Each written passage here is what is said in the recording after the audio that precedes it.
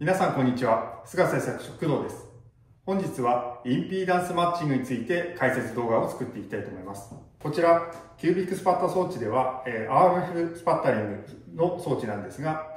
こちらのように、えーと、ロードとチューンを回してインピーダンスマッチングを行うっていうところが、えーと、取扱説明書にも書いてあります。で、実際に、えーと、このマッチングボックスの中で、どのような動きになって、どのような原理で、えー、インピーダンスマッチングが行われていくのかっていうところが、なかなかあの伝わりづらいかなというふうに思いましたので、えーと、こちらのインピーダンスマッチングについて、えーと、詳しく解説していきたいと思います。ちょっと長くなりますが、えー、皆さん最後までご視聴よろしくお願いします。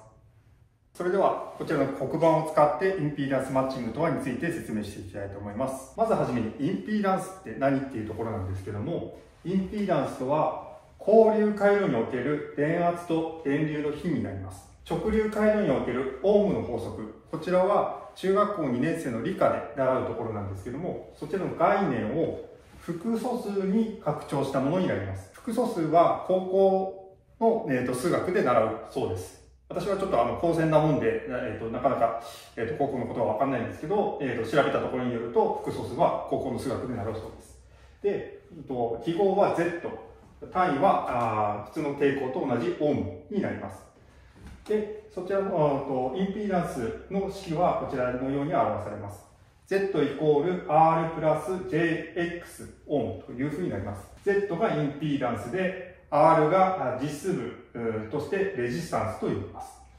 で、えーと、虚数部がリアクタンス X と呼びます。で、虚数単位が J となってるんですけども、普通複素数は I で習うと思うんですけども、えーと、電気回路でにおいては、えーと、電流 I と混同してしまう可能性があるんで、えーと、電気工学とか電気回路においてはよく J があ共数単位として J が使われます。で、えー、とマッチングとはについてなんですけども、マッチングとはあるニーズを持つ2つ以上のものを結びつけることになります。例えばなんですけども、売りたい人と買いたい人を結びつけるための商店だったりとか、えーと、メルカリなどのアプリなどがあります。また、貸したい人と借りたい人、例えば家を借りたいんであれば、えー、不動産屋さんで、お金を借りたいんであれば、えーと、銀行などのマッチングという意味になります。それでは、RF スパッタリングにおけるマッチングとはというところなんですけども、出力インピーダンスと入力インピーダンスをマッチングさせるということになります。で、えっと、ここで新しく出力インピーダンス、うんと、入力インピーダンスっていうところが、新しいワードが出てきたんですけども、そこについては、えっと、後ほど説明していきたいと思います。こちらの、えっと、マッチングを行うことによって何がいいことがあるのか、逆にマッチングを行わなければ、えー、何が悪いことがあるのかというところについて次の板書で説明していきたいと思います。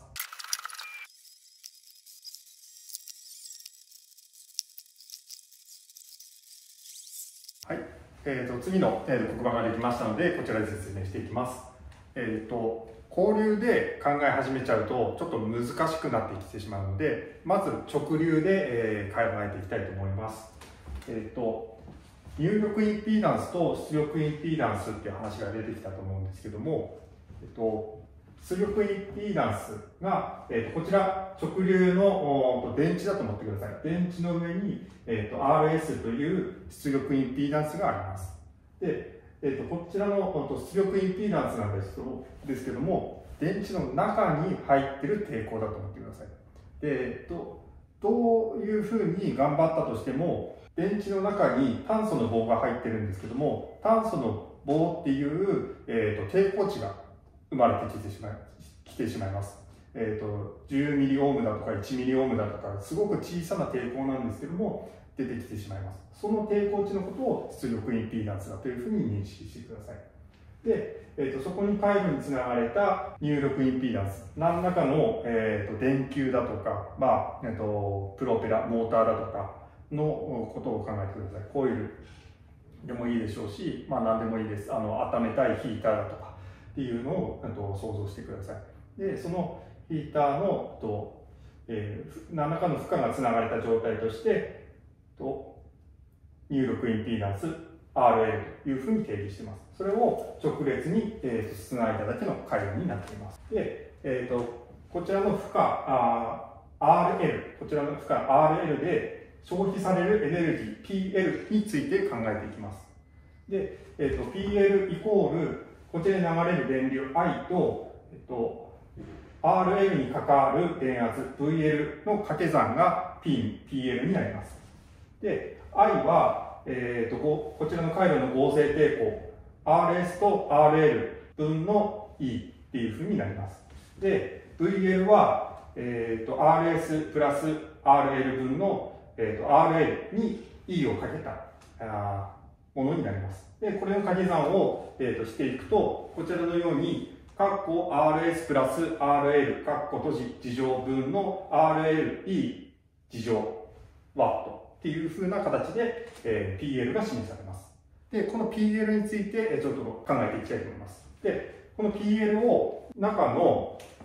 RL、こちらの抵抗値を、えー、いろいろとこう操作していきます。で、まず、このリミットを使って RA を0に持っていったらどうなるでしょうかというところを考えていきます。RL を0に持っていくと、えっ、ー、と、分母にも0に入っていきますし、分子に0に入っていきます。で、分子に0に入ってくるってことは、絶対に0ワットに近づいていきます。で、リミットで無限大に持って、RL を無限大に持ってきてあげましょうと。なってくると、RS、あと分母に、えー、と無限大は入っていきます。で、分子に無限大入っていくんですが、この分母の無限大が、えー、と支配的になっていきますので、割り算で無限大オームで割るっていうことは、えー、とどんどんどんどん0ワットに近づいていきます。で、今度、えっ、ー、と、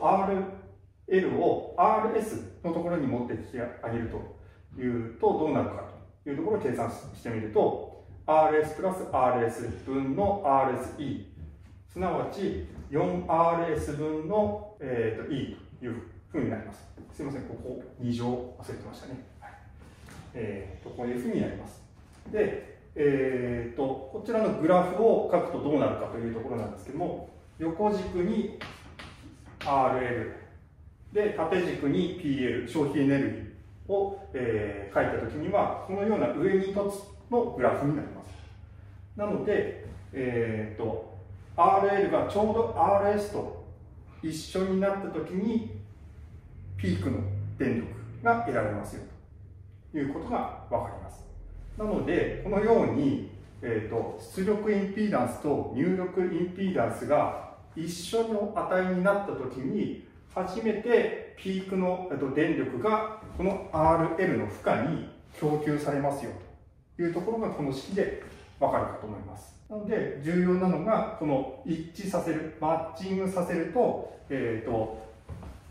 仕事をさせたい負荷に電力を、えー、最大限分け渡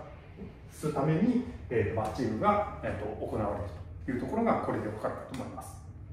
では次になんですけども、今度、えーと、今直流で考えたものを、えー、交流でに展開していきたいと思います。では、えーと、黒板を変えていきます。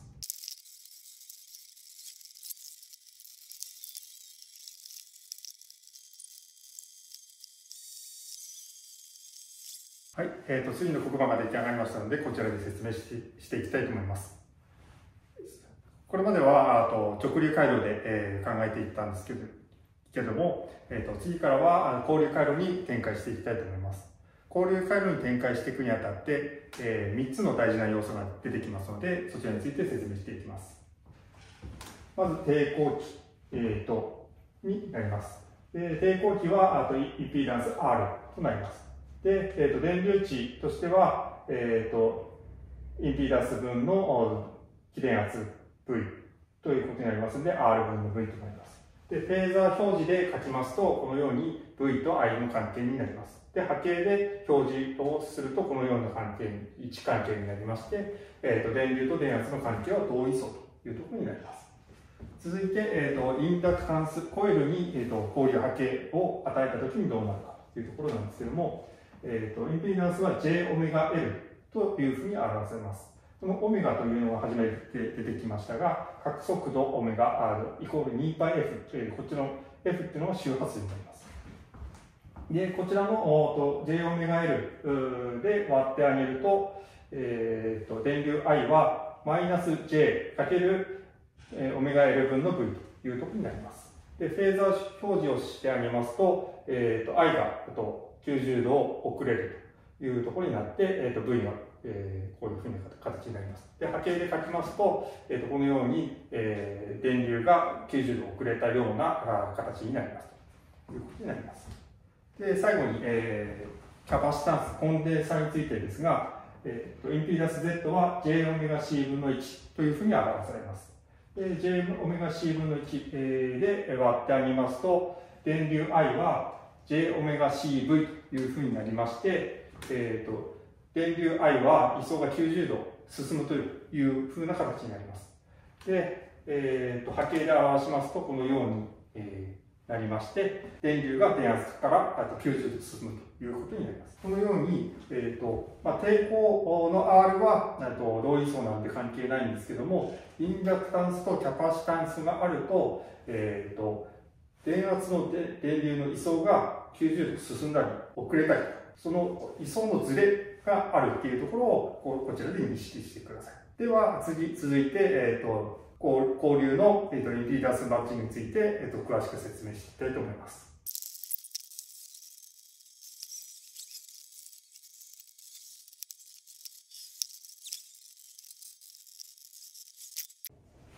えーと、それでは新しい黒板ができましたので、こちらで説明していきたいと思います。で、えーと、うちの、えー、スパッタ装置、キュービックスパッタ装置などのと RF スパッタ装置は大体こうなんですけども、こちらがあと RF 回路の、えー、模式図になります。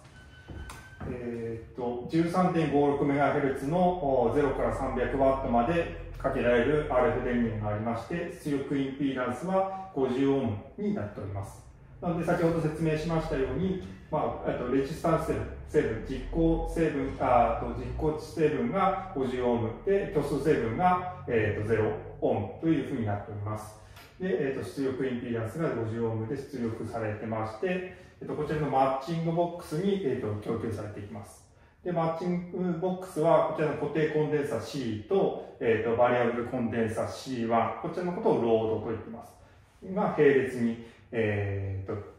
接続されてまして、直列に、えーと、C2、チューンの、えーと、コンデンサがつながれてて、さらにコイル、えー、空心コイルがつながれて、仮想度につながってます。で、えーと、仮想度のインピーダンスのことを仮にですけども、ZC と置いてあります。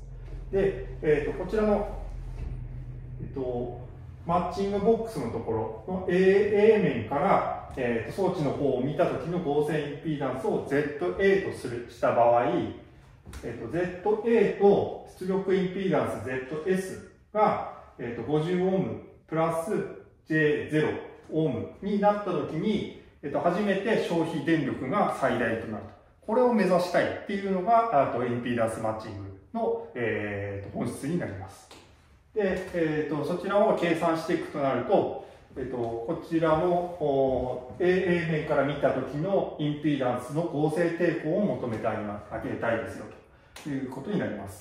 で、合成抵抗をこちら、えっと、こことこことこちらの3つの並列の抵抗の合成抵抗になりますので、こちらのような式で表されます。で、えーと、こういう式をいろいろ解いてってあげて、整理をしてってあげて、で、実数成分と虚数成分に分けて、えっ、ー、と、RL とプラス JωL の形にしますよ。すごく長い計算になるので、省略しました。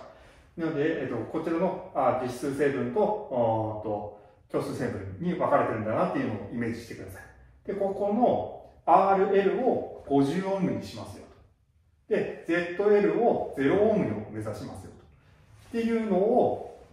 この C1、C2 をぐるぐると回して、えー、と調整をしてあげて、時にはこちらの L の、えー、と長さを調節できるように、えー、してありますので、えー、と長さを調節してると、えー、したりだとかして、こちら RL を50オーム、うんと Z、失礼しました。ZL ですね。ZL を0オームに持ってってあげると、初めて、えーと、インピーダンスマッチングが起こって、えーと、出力された電力がそのまま、えーと、負荷に供給されて使われるというところになります。で、逆にですね、これが合わないと、えっと、じゃあどこに消費されてるんだっていうところになるんですけども、えっと、ZA に消費されてないということであれば、じゃあ他に行くところがないので、基本的にこの ZS、出力インピーダンスに消費されているということになります。で、この ZS、出力インピーダンスっていうのは RF 電源の中にある抵抗値になりますので、RF 電源がに消費されて発熱して、えー、と最悪の場合は故障に、えー、と至るケースがあります。まあ、あとうちの R 使っている RF 電源はあとスパッタ用の RF 電源なので、えーと、異常な反射波があると、えーと、出力を落とすような仕組みがあるんで、えーと、そんな問題にはならないかと思うんですけどもそういう仕組みになっているということだけ覚えておいてください。皆さんご視聴ありがとうございました。菅製作所では実験に役立つ動画をどんどん発信してきてますので、えー、よかったらチャンネル登録とグッドボタンをよろしくお願いいたします。